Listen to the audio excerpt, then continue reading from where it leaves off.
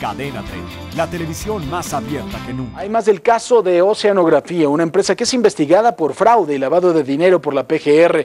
Resulta que la firma se mantiene trabajando normalmente en sus instalaciones de Tabasco. Tiene oficinas en la torre empresarial de Villahermosa, en el despacho 805, así también como instalaciones de maniobras dentro del puerto petrolero de Dos Bocas en el municipio de Paraíso.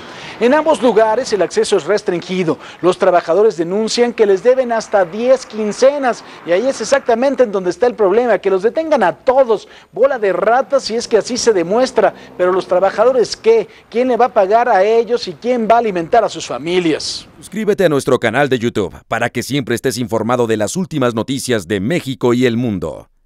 Empieza ahora mismo dándole clic a estos videos.